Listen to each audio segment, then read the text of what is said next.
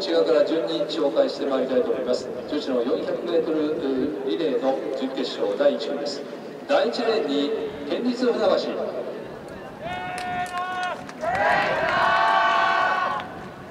林さん西村さん三吉光さん稲垣さん。第2レーン流山南。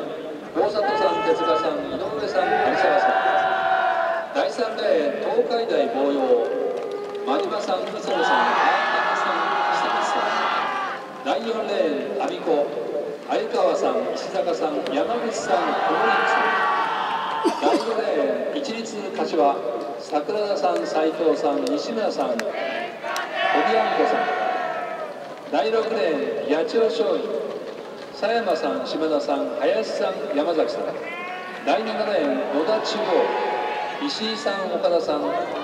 中島さん上上原さん。第8レーンに鎌ヶ谷。中島さん古川さん中山さん鈴木さん。さあ予選を勝ち抜きました。24チームが3チームに分かれまして決勝進出を目指します。第1組です。